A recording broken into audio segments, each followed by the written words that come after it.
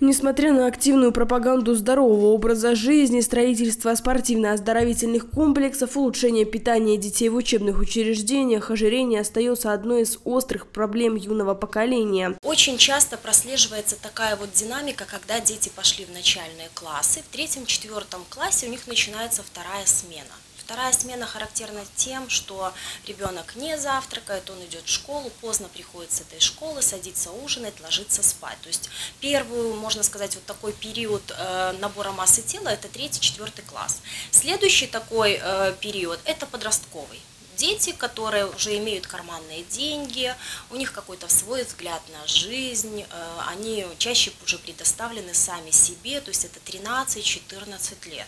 Последнее время лишняя масса тела и ожирение у детей и подростков – это бич. Это серьезная социально-экономическая проблема, просто потому, что она влечет с собой очень большое количество осложнений в дальнейшем. Действительно, из-за детского ожирения повышается риск развития диабета второго типа, болезни сердца, астмы, проблем со сном, таких как апно и проблем со здоровьем костей. В дополнение ко всему, дети, страдающие ожирением, как правило, больше подвергаются буллингу, имеют низкую самооценку и страдают от депрессии депрессии. Лишняя масса тела и ожирение, она в целом влияет на здоровье в будущем.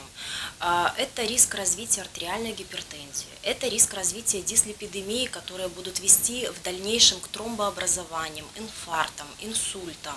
А, у мальчиков, которые имеют лишнюю массу тела в период пубертата, то есть в период становления половой функции, лишняя масса тела будет вести к тому, что эти мальчики будут иметь снижение половой функции в дальнейшем. Надеяться на то, что все решится само собой, и детский метаболизм справится с любым лишним весом не стоит. Ведь самое главное – это пищевые привычки, а вступая во взрослую жизнь с нездоровыми привычками, их крайне сложно перестроить, зато очень легко набрать лишний вес. Кроме того, перерасти ребенок может только первую степень ожирения, небольшой перевес, и то при достаточной физической активности. Потому родителям как никогда важно обращаться к специалистам за консультацией. Ребенок, который уже, а, во-первых, они попадают по-разному. Есть те, которых приводят мама, это хорошо. Есть э, подростки, которые приходят сами, чаще всего это девушки, которые говорят, все, я понимаю, что пора этим заниматься. Это, это приятно, потому что человек, который готов этим заниматься, с ним легко работать, легче работать, он тоже прикладывает усилия.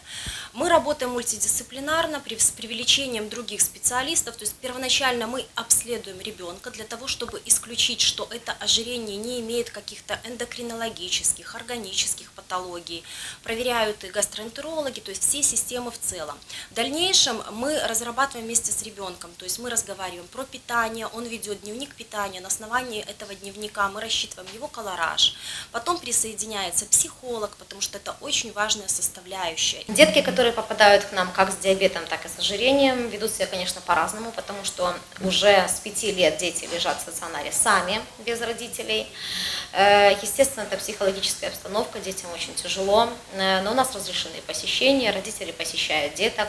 У нас в отделении есть воспитатель, который выводит деток на улицу, занимается с ними различными играми, проводит разные тут конкурсы. Привычки питания дети копируют у своих родителей, а потому взрослые должны стать хорошим примером для своего ребенка и научить заботиться о себе.